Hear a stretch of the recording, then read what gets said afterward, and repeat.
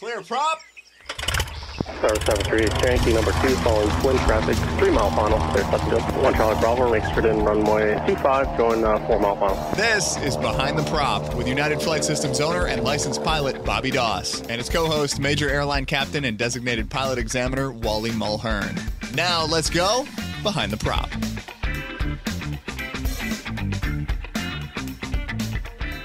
What's up, Wally? Hey, Bobby, how are you? I'm great. We have a guest again this week. Uh, welcome back to the show once more, Mr. Pat Brown. How are you today, Pat? I'm doing great, thanks. This is probably the fourth or fifth time. I know I've lost count. I appreciate you coming back so many times. It's like a bad penny, man. You just keep turning up. And what uh, we haven't talked about yet today was Pat made a post on the Facebook recently that you got your Master Pilot Award. 52 years of aviating. It took them a couple of years for you to get the certificate. Congratulations on that. Thanks. That's what happens when you hang around long enough. I'm not even 50 yet. So like my mind is blown. oh, thanks a lot for that. Sorry, sorry about that. Wally, how long have you been flying now? Well, uh, August getting- August 31st will be the anniversary of my actually my my 40th.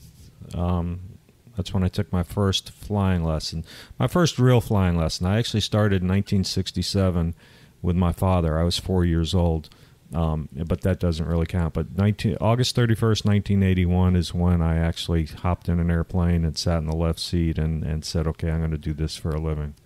And do you? I don't know how this. What was the? What's the demark for that? Is that like first lesson? Is that student pilot certificate? First What- medical. Okay, first medical. Interesting. I'll never get there. I'll just be honest. I'm never going to get to Uh, 50 you know, you never know. Yeah. I don't think I'm going to. I never thought I I don't would. think I'm going to make 90 something years old. So, but congratulations. It's cool to see that certificate, and that, that's a pin, I guess, that was posted. They give as you a pin and they, they give you a copy of every piece of paper that the FAA has in your file. Really? Uh, and fortunate, fortunately, mine is only maybe you know a half an inch thick. I wouldn't want it any thicker than that. Um, yeah, they give you a copy of every everything that they've got in their file. There's a nice certificate that recognizes uh, with a picture of Orville and Wilbur on there, and and uh, um, Secretary Dickson signed it. Wow. Um, so it's uh, it's I'll tell you, it's a little bit mind-boggling. I never, you know, when I was, I'm not going to tell you quite how old I am, but back when I was that age, you know, taking my first lesson, um, I I never envisioned wow. 50 years, 52 years now. I never envisioned. I never envisioned any of this stuff. I never started. My entire life has been a happy accident. You know, Right. I've never had a plan. Yeah, I didn't think I'd be sitting here a few years ago either. uh, but I'm happy doing it every day. So I'm that's telling that's really really counts. cool. That's what counts. Well, w- when you get that, when you get that award, obviously you've you've been flying a long, long, long time. Yeah. Um, and today we're going to take all those 50 plus years of experience between Pat, almost 40 with Wally, and now I've got I'm almost up to five years. There you go. Six years. I guess I've been training for six years. So that puts us at 98 years experience here. Yeah. One more year, we're going to have over 100 between the three of us. Um, so we're going to take all those years and we're going to talk traffic pattern etiquette today In a non-towered field. at a non-tower field. So um, lots of us, specifically this airport, have a have a whole lot of help with the tower controllers. And um, big city like this, we've got a number of towered airports. Um, but is all about traffic pattern etiquette at non-towered airports. So you asked, you brought this up, Pat. Tell us, like, where's the where's the the stick been lately? Where's the thought process been around traffic pattern etiquette? Well, one of the things that I I think really kind of sparked my interest in this was when I was doing um, flight instructor refresher clinics. You know, the, the weekend deals where flight Sure. instructors come to refresh to renew their certificates, and I was teaching the course. And one of the statistics that we kept coming up with when we got into uh, one of the modules that was talking about safety and the safety culture at flight schools was the fact that the majority of midair collisions occur within five miles of a non towered airport on a clear day. Yeah, And so, if you extrapolate that a little bit, a lot of those also will happen in the traffic pattern. and some of that is just because of just just just poor execution of the traffic pattern itself, maybe not understanding how the traffic pattern is supposed to work. It's a non-towered field. Jason Shapard at MZ, M0A calls it a pilot-controlled environment. I'm not sure I like that term, but he's not he's not wrong. Sure. So it's up to us as as individual pilots to control what we do at a non-tower field because obviously there's there's no tower watching over us telling us what to do. And and and I teach out of a non-tower field. I, I, I do examinations out of a non-tower field. Wally does the same thing. He's out of Cleveland. There's no tower there. So it's out of self-preservation as much as anything. I think that this has become go. of interest for me. So um, I would think all of us have flown to a non-towered field at some point or another, and, and you talk about um, the the people in the pattern. The, I think the the big time that I'm thinking about the non-towered field is the entry and the departure. Right, there's a lot of Right. mistakes and errors that I hear people make. Uh, we'll get to radio communication in a second, but. Uh, what do you think some of the common errors are with people entering, and then we'll talk about departing. What let's focus on entering the pattern first. What what's some pet peeves or heartburn that you see on a regular basis out there? Uh, both of you, Wally and Pat. You want to go first, Wally? You you take it, Pat. All right. You're you're leading I'll this. put you on put you on the spot there. Thank you so much. There's a big smile Wally on will your go face second. right now. Wally will go second. Well, I gave you a minute to think about it, right? Right. Well, well, first of all, let's talk a little bit about what the literature says. So, if you look at AIM, uh, chapter four specifically, um, and four three three, if you really want to get into the weeds, really only gives you one recommendation on a traffic pattern entry, and that's the 45 degree to the downwind leg, the one that we all learn. But um, and it, but it doesn't say anything about what happens if you're coming in on the other side of the field. For that, you've got to look at the uh, Airplane Flying Handbook, and that's chapter seven. And that recommends a couple of different ways. It recommends uh, the first recommendation is to cross over the airport at 500 feet above the highest traffic pattern altitude, fly outbound two miles from the downwind leg, not from this, not from the runway, but from the downwind leg, and then make your descending turn back into the traffic pattern. And real quick, because I think I, I, I still I, I, I pin myself to private pilots because I don't fly every day like everybody else. A private pilot, when I was a private pilot, I always thought the highest traffic pattern altitude was a thousand feet above the the airport elevation. What is the highest traffic pattern altitude at an airport? Is it always a thousand feet? Well, it's a thousand. It's generally now there's some exceptions, and usually you'll find that in, in the chart supplement. But but but it's generally a thousand feet AGL. Tw- Twins and turbines typically fly 1,500 feet AGL. So if you're talking about crossing the airport traffic Uh, area and pattern at 500 feet above the highest traffic pattern, you're talking about 500 feet above 1,500 feet Right. AGL, which makes it 2,000 feet AGL. This And could that- be a big deal if a if a Cessna thinks that they're supposed to fly fifteen hundred feet, and that lo and behold, there's a twin in the pattern. Yeah, right? or Pilatus or, or King Air or something like Right. that, or a citation. And that happens at West Houston quite frequently. We have a lot of that kind of corporate traffic coming into West Houston.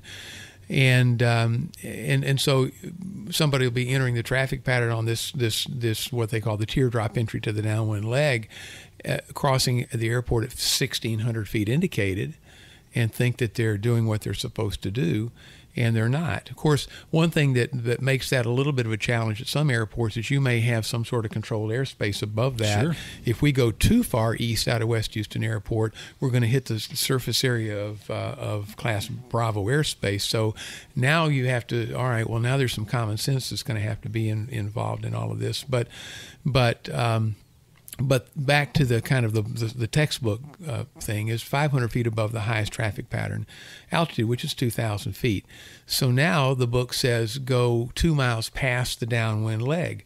Well, how far away from the runway is the downwind leg? And that really depends on the type of airplane that you're flying. You're flying a J3, it's probably a quarter mile. If you're flying a I don't know, a Cirrus, it might be a little bit further. A Comanche or some faster airplane, it might be a little bit further out. So, you know, I, so I have students that are asking for guidance, and even even applicants after the check ride is over asking for guidance, and so I kind of look at it like this: it says go two miles past the downwind leg, so let's assume the downwind leg is at least a mile out. So let's measure now from the center line of the runway. Let's go at least three miles away from the airport, maybe four, depending on how busy the airport is. Then you make your descending turn back in and announce that you're X miles, uh, in the case of West Houston, east of the airport. We're entering a, a 45 degree to the downwind leg. Um, the other way that, that Chapter 7 of, of the Airplane Flying Handbook recommends is just enter midfield at traffic pattern altitude and then turn downwind at the midfield point, giving way to any traffic that might be entering the, the pattern at the, uh, at the 45. Um, you know, and that's okay. I, I, I guess the only peeve I have with that one is that depending on the kind of airplane that you're flying and, and when you start slowing down, you may have a hard time as you turn midfield. You don't have very much time before you uh, beam the, uh, the, the the approach into the runway.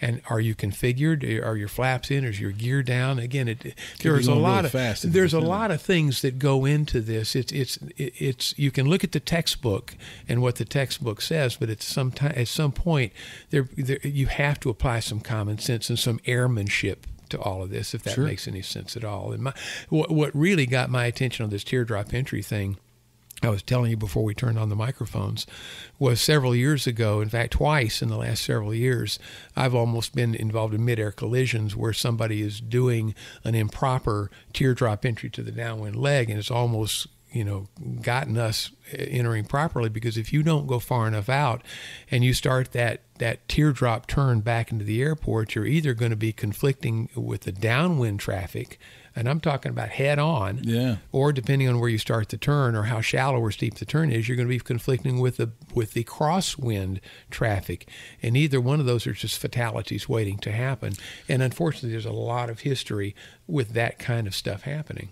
Yeah, and I think I think a lot of technology and we're at non-controlled airports, but we probably all have an iPad, and we are assuming that everybody's got ADSB now, and they're on that little screen.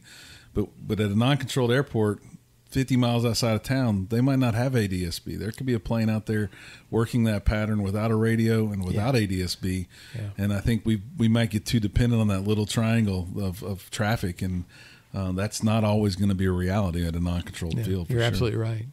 Wally, what are your thoughts? Well, as we sit right here, we we've already talked about a couple of different uh, ways to enter a traffic pattern, and, and the other caveat is that these are recommended.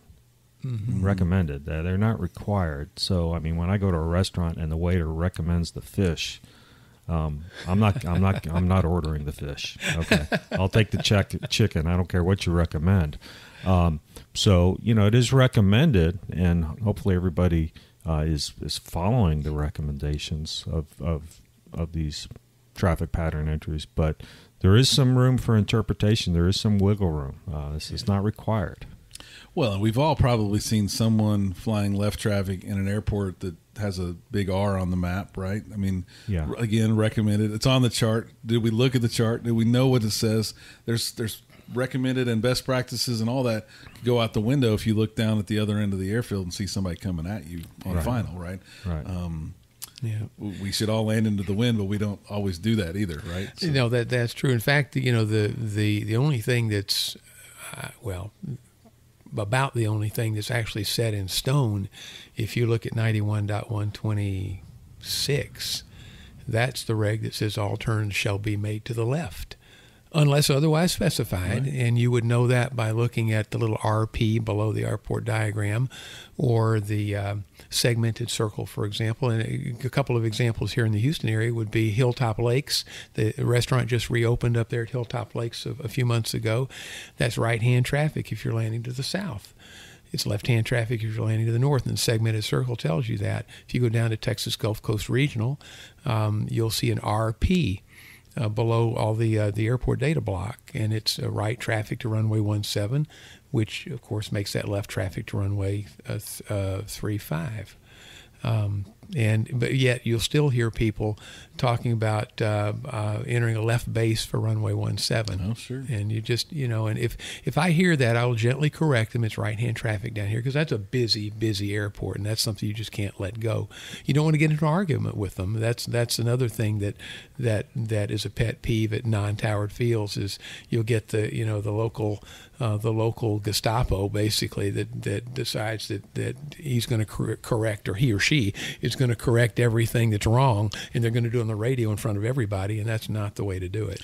Yeah, this airport tower was closed for many hours of the day during the COVID stretch, Oh, yeah. right? And there were a lot of there were a lot of uh, wannabe air traffic controllers working the radios, and and a lot of I I would say discourse on which way were the winds blowing, right? You know, on calm days there was a lot of people landing d- different directions and three runways. Man, that gets real hairy real quick, right? So uh, I did not fly much during those days around here when the tower was closed lots about entries there. Um, I've seen a lot of departure mistakes as well. I know we're talking about the pattern, but I, I think I think a student pilot that is is flying a long cross country probably doesn't know exactly what they're supposed to do.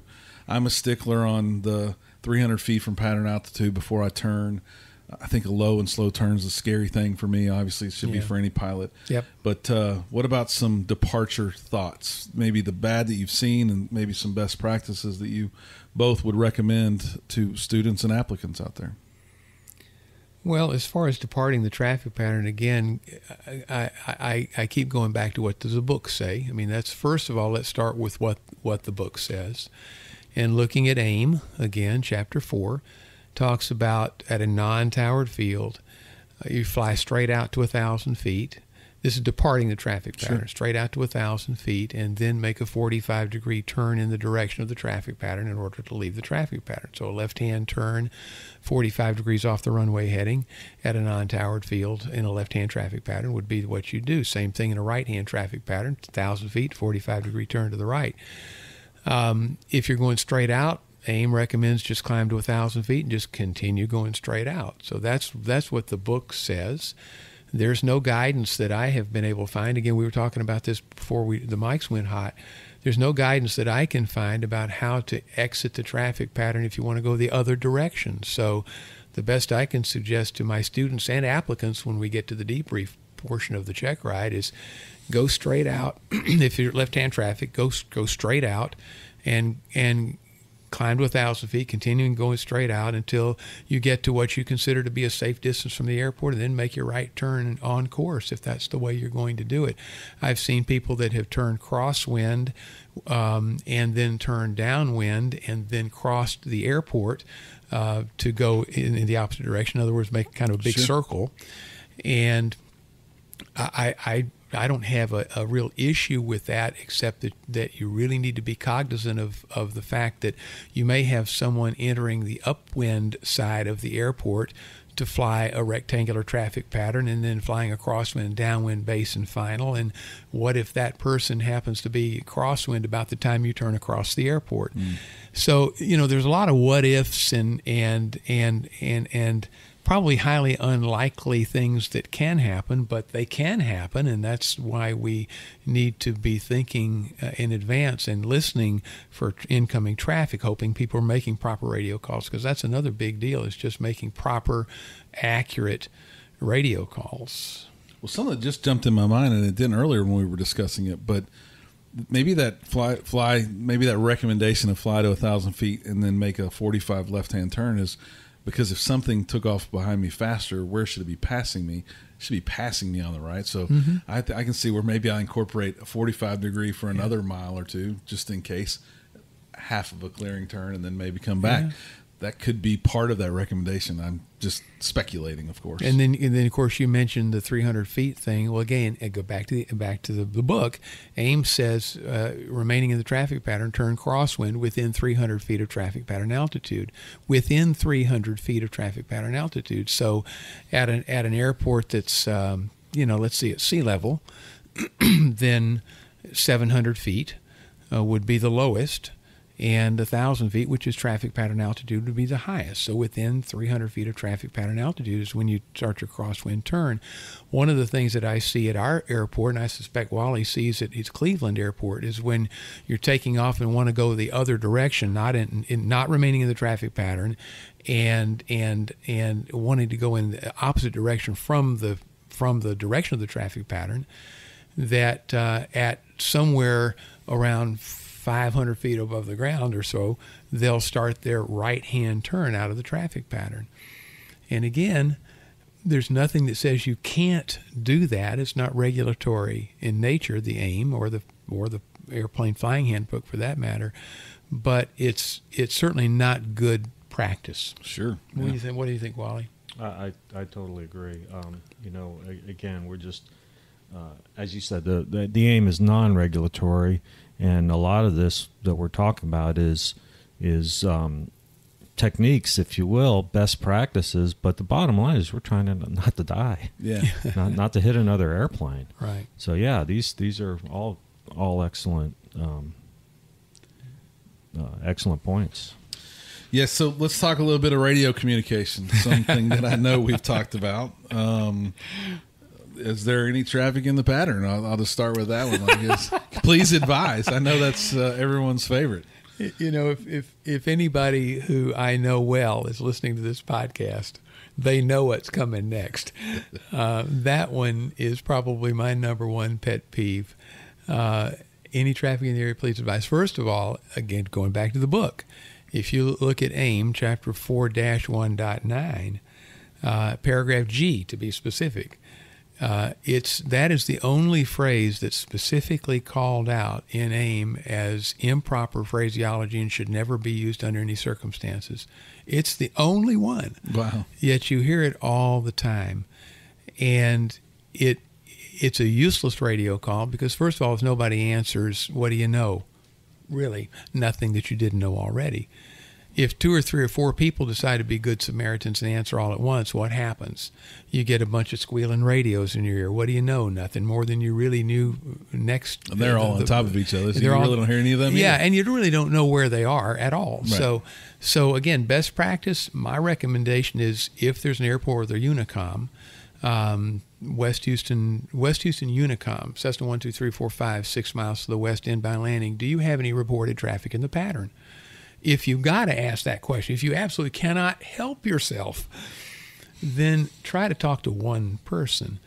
Um, I was I, I, tell this story in my Rusty Pilot seminars and really almost any other chance I've got. So uh, probably some folks on listening have heard this, but I was flying out of Brenham several years ago, and with a student in the airplane, and I heard this is the radio call I heard, and I'm not making this up. Uh, it was uh, Brenham traffic, Phenom 12345, we're 10 miles north inbound of the RNAV 16 uh, into Brenham. Any traffic in the area, known or unknown, please advise. Okay. And and I and I, boy, I so wanted to key the mic and you know make some smart ass comment, but I'm a professional. I probably would have said something for sure. But uh, you know, I'll, but one one or once or twice I've succumbed to the weakness, and uh, and I'll key the mic and I'll just say buy low, sell high. well, good tips. Good tips for sure. I, I uh, think I think making that comment, making that call, any traffic in the area, please advise. I, I think so. So if you don't hear anything, um, I, I, would guess people would get a false sense of security. Yeah. Well, oh, nobody's talking, so there's. I've shared this before on the show. I watched the Smithsonian Channel, this air disaster show, which mm. makes no sense to a lot of people that I watch that show. But hopefully, I'm learning. But the most recent show I watched, there was a, it was a big King Air of some sort passenger plane, and they kind of did that any traffic. It was an uncontrolled airport, and sadly enough, there was a citation waiting to go that was on the wrong radio channel, mm-hmm. and they were they were making their calls too and there was some small single engine plane behind them that was going to go. Well, the, the the the airline that was coming in was asking and asking, and they saw the bigger citation, and they asked, and the small single engine behind answered for them. Yes. And unfortunately, the citation still took off, and they hit at the center, the midpoint of the field. Um, and it was a terrible disaster because I think everyone was everyone perished. But you know, you can't assume anything in these situations, and radio radio calls are, are scary enough if they're not being made or heard. And man, hopefully we're all on the right channel. That leads me to our conversation around what should we be saying when we're coming in? Should we should we just be saying November one, two, three, four, 10 miles westbound in for a full stop, inbound for a full stop? Uh, does that tell people enough about my aircraft and what, what I what I'm intending to do? No, the the AIM is, is specific. Again, again, AIM is non-regulatory, but it's very specific about aircraft call signs, and it basically says that you should say the manufacturer name or the model name of the airplane. So, Cessna one two three four X-ray uh, meets that requirement, but Skyhawk one two three four X-ray uh, meets this requirement even better, I believe. I, first of all, it it um, tells people what what kind of airplane you're looking for. Um, sure, a Skyhawk and a Skylane and a 206 all look the same from three miles away. Um, it's a high wing Cessna, but um, if you are talking air traffic control, they know they now know the performance capability of the airplane. They know that a Skyhawk is about a hundred knot airplane, and uh, if if they if you're eight miles out and a Bonanza is eight miles out, they know they to put the Bonanza in front of you. But um, you know, just saying November one two three four X-ray, it it, it says that the, you're a U.S. registered airplane or a U.S. registered aircraft, I should say. It could be a helicopter. So, um, uh, you you're supposed to say the airplane type. Yeah, and anything other significant value that would help other people. Um, Woodstock used to be very, very bright, very different, right? So if if Pat was flying in, he could say yellow, yellow 152 or 150, but um, that would help me if I was in the pattern O, so that I wasn't making the mistake of a, another high wing aircraft that might have been white or blue, uh, had I been in the pattern or wanting to stay in the pattern. Yeah, you're you're referring to the little yellow 152 that I used to Yes. fly around, and yeah, oftentimes I would say yellow Cessna um, entering a left downwind, the yellow Cessna 103 uniform Charlie entering a left downwind or something along those lines, because it was a bright yellow Cessna. Um, you you you and I have had had a conversation too, uh, Wally, with regard to radio calls. That last call seems to be making its way around the country more and more and more and more. And I know you had some thoughts about that too. Yeah, yeah, that's that's another one that um, uh, I'm not sure where a lot of this stuff comes from, um, but but that is something that is coming. I'm I'm hearing a lot. Uh, another thing I I hear a lot is, um, and I think people get this from watching TV, watching movies. I have eyes on the traffic. Um, I've got them on my scope. You mean? no, well, I, yeah, yeah, They have yeah. that because they see Yeah. them on their iPad. yeah, yeah. Um, you know, and and I think I think what we want is effective communication, and I think a, an English speaking controller uh, probably understands what you mean. But uh, you know, you you get to the point where uh, if you start flying internationally, you're you're speaking to controllers whose native language is not English, and they may not know what you're talking about when you say things like that. So so try to stick to the standard phraseology. Got him on the fish finder. Doesn't doesn't qualify. Oh yeah, yeah, got him on the fish finder. Or the metal detector. Got him on the metal detector. The other thing is the the mix in IFR traffic and VFR traffic. Um, you know, a lot of times we're doing uh, instrument approaches to uncontrolled airports. So um, you may have a couple people in the traffic pattern doing touch and goes, and, and you call up and say, uh, "We are over um, Jimbo intersection inbound for landing."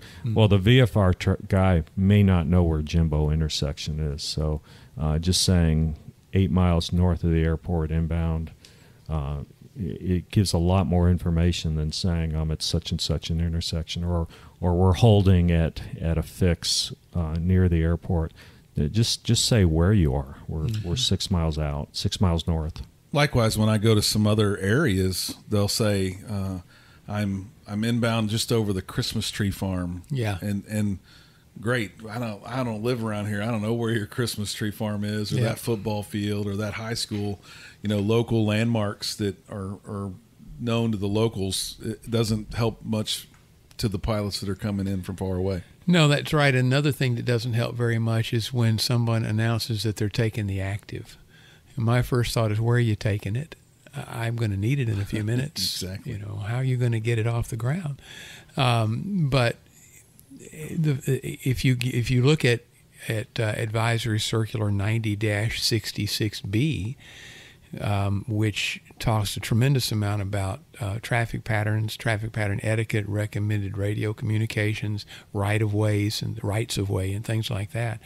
Um, uh, if, if you look at that, um, it will give you some uh, some some really good guidance on um, the fact that there's there's no um, there's no active runway at a non-towered field. It's the runway in use. Right. In fact, the, the advisor circular will actually say that it's the runway in use. And let's let's talk about you know back in the day when New Braunfels and San Marcos were both non-towered fields. San, uh, Palacios down uh, to go uh, to coast is a non-towered field. On any given day at any of those airports, any two runways could be in use because the wind split was split right down the middle. So if you're just if you're especially if you're operating at an airport with more than one strip of pavement, then saying taking the active doesn't say anything. It could be either one of those runways could be could be active. Um, better to say Cessna one two three four five is taking off runway one five. Uh, when you clear the runway, if you absolutely feel you have to make that radio call, which is not necessary, uh, I'm clear of runway 15 or something, so that somebody either taxiing out for takeoff or uh, just as importantly, somebody coming in from on course. Um, who's been listening to the radio understands that okay, it is runway 15 that's in use, not the the other runway that may be crossing it that could also be a possibility to, because the AWOS said it could be. Yeah, and you mentioned a couple names there. I think uh, the last point I'll make for today was I went to a non-controlled field in my training north of Houston, and my instructor said this. This we used to call this airport something else. It's got a new name, and you know the locals might still call it the old name, and, and you might be referencing something you're looking in a chart supplement or on a VFR map. Um, you you kind of got to be situationally aware of, Yeah. of what those those people might be talking to about. Lots of one two one point nines out here, or one two two point nines out here, or airports all over the south part of, of, te- of Texas. Yeah, very true. You got to be aware of, of who's talking and who's who's in the pattern with you. Um, we we we saw a plane coming the other direction at that field one time, and they were using the old name and we were using the new name. Um, luckily, not no incident, but you got to be aware of all these little intricacies of of entering these patterns with a radio, maybe without a radio. Somebody might not have a radio. Lots of things that uh, could cause these incidents uh, in the traffic pattern for sure. Well, we talked about earlier. We talked about traffic pattern directions, right versus left, and but with regard to the change in names, we have a an example right here at a, of a non-towered field, just 40, 50 miles south of where we're sitting right here, Texas Gulf Coast Regional. A number of years ago was Brazoria County Airport. And then it got changed to Texas Gulf Coast Regional, and you still have folks that call. Not so much now as a few years ago, but you still have folks calling up and calling it Brazoria County. yeah. So, or Brazoria County, as the A, uh, as the AWOS used to call it. So, yeah. Yeah. So you got to be watched for that stuff. I think at the end of the day that you know just you got to just keep your eyes out the window. We, um, Pat, I know you've flown out of a airport southwest of Houston where they have a pretty significant um, ag operation, and uh, those guys are usually not talking on the radio, and they're taking off in the direction that they're going, and they're landing in the direction that they're coming from, regardless of pretty much the the wind doesn't really Any matter other rules? or so guidance? you may be in the pattern. Uh, uh, it- there, there was a day I was down there doing a check ride, um, and we were in the traffic pattern, and we were on final, and and my applicant said there's an airplane about to land the other way, and I thought, okay, what do you want to do? And he said, well, we better go around. I thought, well, that's a great call, and we did that, and as um, I was actually flying an airline trip that same day, and I was going into Las Vegas, and had to do a go around in Las Vegas um, in a 737. I thought, wow, this is two real go arounds in one day, two different airports, two different airplanes. I mean, um, and and they, they were the real deal. They weren't just hey, Yeah. let's go around for the heck of going around. Yeah. Well, hopefully, all of you learned a little something or have something to think about, maybe something new to read. Um, go check out those those textbooks that Pat referenced. Uh, get better with your traffic pattern etiquette at non-towered fields. As always, fly safe and stay behind the prop. Thanks for checking out the Behind the Prop podcast. Be sure to click subscribe and check us out online at behindtheprop.com. Behind the Prop is recorded in Houston, Texas. Creator and host is Bobby Doss. Co-host is Wally Mulhern. The show is for entertainment purposes only and is not meant to replace actual flight instruction. Thanks for listening and remember, fly safe.